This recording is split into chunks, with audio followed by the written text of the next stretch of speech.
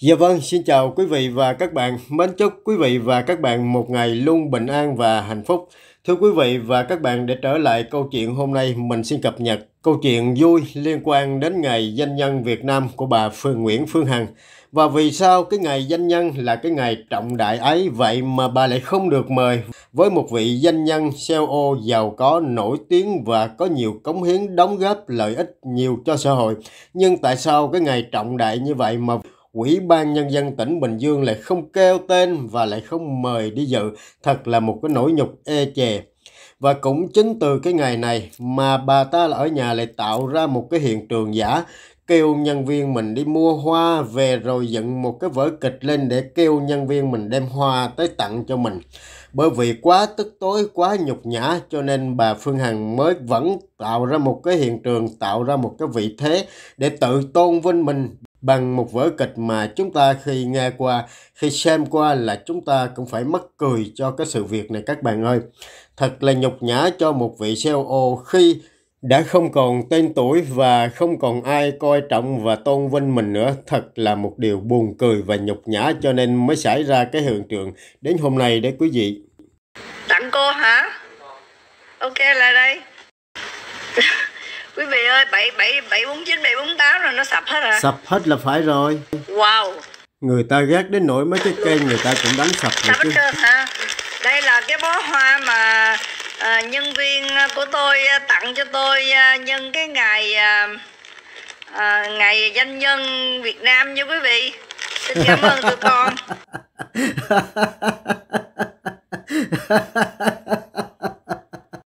Ôi trời ơi, nghe sao mà nó mất cười, mà nó nhục nhã làm sao đấy phải không quý vị?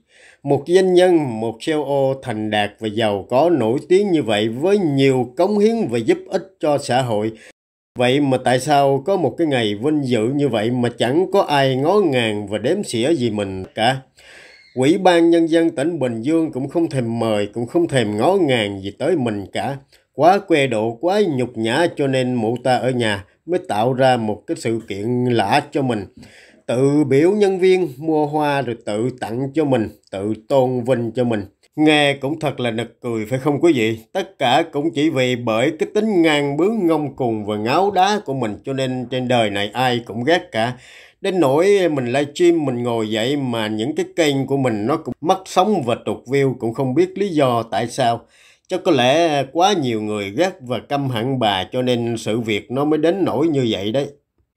Thưa quý vị và các bạn, chắc có lẽ cũng chính vì cái điều này, chính vì cái ngày 13 tháng 10 long trọng như thế này, bà chẳng được ai mời, chẳng được ai vinh danh, cho nên quá tức tối bà mới tạo ra một cái livestream, bà lên bà phủ sóng toàn quốc và kêu réo, chửi rủa hết tất cả nhiều người nhằm để trút bỏ những cái nỗi nhục nhã oan nghiệt ê chề của mình lên cho nhiều người phải gánh chịu. Bên cạnh đó bà còn kêu và nhắc tên nhiều lần của cố ca sĩ Phi Nhung cho dù rằng cô không còn trên cõi đời này nữa. Đây là một hành động thái quá, ích kỷ của một người đàn bà mà chúng ta có thể cho rằng trên thế kỷ 21 này mới xuất hiện và còn tồn tại một người đàn bà quái đản như vậy. Bà nguyền rủa bà xúc phạm một con người từ khi còn sống và đến khi lên giường bệnh và đến khi không còn trên cõi trần đời này nữa bà cũng vẫn không chịu buông tha. Thật là ghê rợn và ác độc. Cũng chính ờ, cái ngày trọng đại được nhiều người vinh danh như vậy mà bà chẳng được ai ngó ngàng cho nên bà mới trút bỏ những cái giận hờn, những cái nhục nhã của mình lên cho nhiều người phải gánh chịu. Bà kêu tên rất nhiều người trong cái ngày đó ra để công kích và xúc phạm. Những người nghệ sĩ vô cớ không liên quan, những người nghệ sĩ họ làm được nhiều việc để cống hiến giúp ích cho đời, giúp ích cho rất nhiều người dân trong xã hội này. Vậy mà bà lại kêu tên họ ra, bà xúc phạm, bà miệt thị, bà hà nhục một cách không thương tiếc. Cũng chính vì cái ngày này mà bà đã làm cho nhiều người phải liên lụy và vướng vào vòng lao lý, bởi sự ác độc và nham hiểm của bà.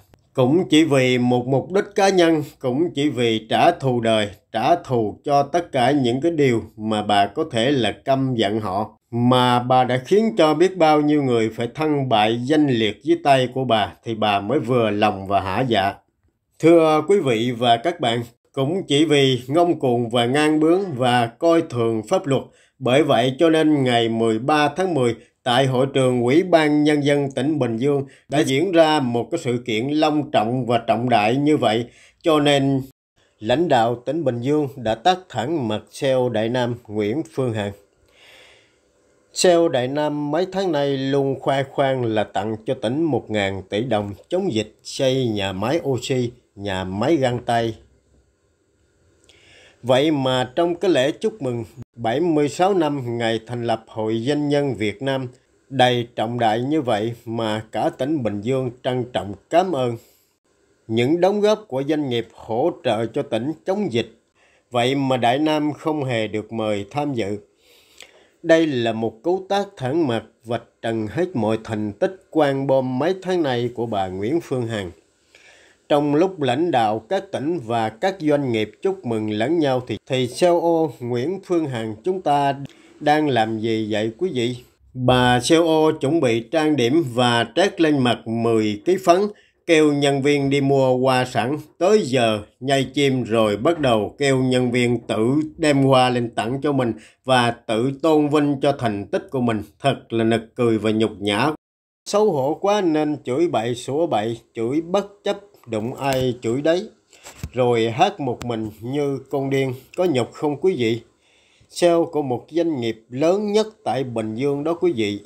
Vậy mà cái ngày trọng đại này, tỉnh Bình Dương lại không mời mụ CEO này. Thật ra đây là một cú tác mạnh làm cho bà CEO quá nhục nhã. Thưa quý vị và các bạn, ngày 13 tháng 10 năm 2021, Bình Dương đã tổ chức họp mặt các doanh nhân kỷ niệm 76 năm Ngày Doanh nhân Việt Nam.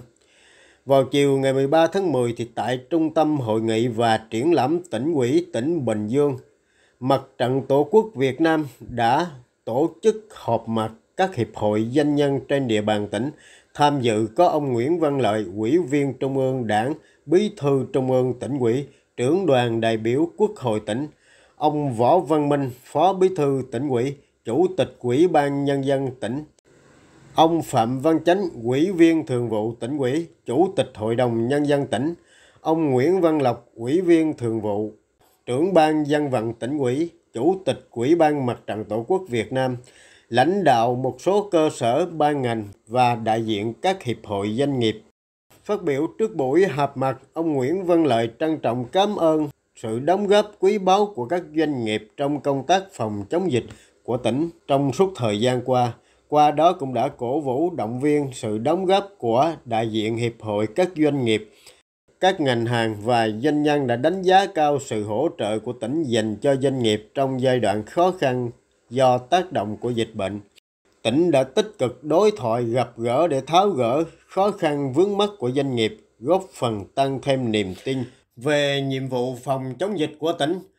Cụ thể là tỉnh đã hỗ trợ trực tiếp kinh phí phòng chống dịch, cải tạo nhà xưởng thành các bệnh viện giả chiến, trao tặng trang thiết bị y tế, ủng hộ cho các chương trình như ATM, túi thuốc cứu người, ATM oxy chống dịch, sử dụng đóng góp của nhiều doanh nghiệp, doanh nhân đã đóng góp góp phần không nhỏ để tạo nên quá trình chống dịch của tỉnh Bình Dương. Như vậy là chúng ta cũng đã thấy trong bài viết này nêu là rất nhiều doanh nghiệp lớn của tỉnh Bình Dương đã góp phần tham gia vào công tác chống dịch như ATM oxy rồi túi thuốc cứu người.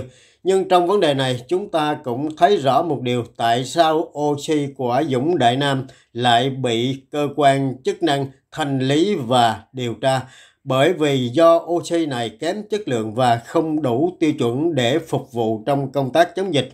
Chúng ta còn nhớ vụ oxy Đại Nam đã bị cơ quan chức năng tịch thu và kiểm tra khi có rất nhiều cảnh sát cơ động thu gom và đưa lên xe của quân đội.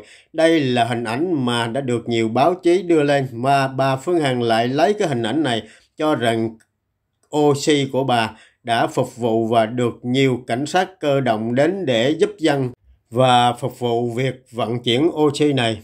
Từ điểm này cho chúng ta thấy rằng bà Hằng này quá lương lẹo và tráo trở nhằm đánh lừa niềm tin của nhiều người. Bởi vậy cho nên quỹ ban Nhân dân tỉnh Bình Dương cũng không ngó ngàng và không đếm xỉa gì đến hai nhân vật này. Và danh sách của Dũng Lò So cũng không được nêu tên trong sự kiện trọng đại này. Nhân dịp này thì Ủy ban Nhân dân tỉnh Bình Dương cũng đã tặng bằng khen cho 21 tập thể và 47 cá nhân có nhiều đóng góp như phát triển kinh tế ngày hội chung tay dập dịch. Trong đó có Chủ tịch Hiệp hội Doanh nhân của tỉnh Bình Dương cho biết, trong số tập thể cá nhân được tuyên dương có nhiều doanh nghiệp nữ đó là niềm tin và niềm động viên cho sự đóng góp không mệt mỏi của các chị em trong suốt thời gian qua. Mặc dù dịch bệnh rất nguy hiểm, nhưng chị em luôn cố gắng giúp tỉnh ủng hộ công nhân vượt qua khó khăn. Vậy mà cái tên Nguyễn Phương Hằng là một doanh nhân nổi tiếng giàu có và nhiều hột xoàn như vậy lại không kêu tên trong này.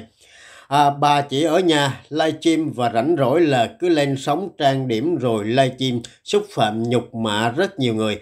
Trong khi tất cả các doanh nghiệp lớn nhiều chị em phụ nữ cũng đã đứng ra tham gia để tổ chức nhiều công việc phòng chống dịch còn bà cùng cuộn thì chỉ lên livestream chửi bới nguyền rủa rồi xúc phạm nhiều người bên cạnh đó còn lôi cả chính quyền ra mình nhục mạ, hờn trách rồi miệt thị thì thực sự một doanh nhân như vậy thì làm sao mà xứng đáng nằm nằm trong cái tầm của hội doanh nhân Việt Nam như thế này hả quý vị?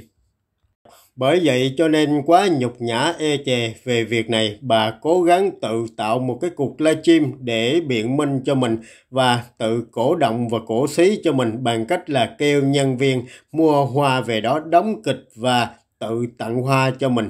Xong livestream thì bà lại hát hò để nhằm cho quên đi cái nỗi nhục nhã này. Thưa quý vị và các bạn, đó là thông tin mình cập nhật để quý vị chúng ta hiểu thêm sự việc này. Đến đây mình xin kết thúc video. Xin cảm ơn quý vị và các bạn đã dành nhiều thời gian xem video của mình. Mến chúc quý vị và các bạn một ngày bình an và hạnh phúc. Mình xin chào thân ái ạ. À.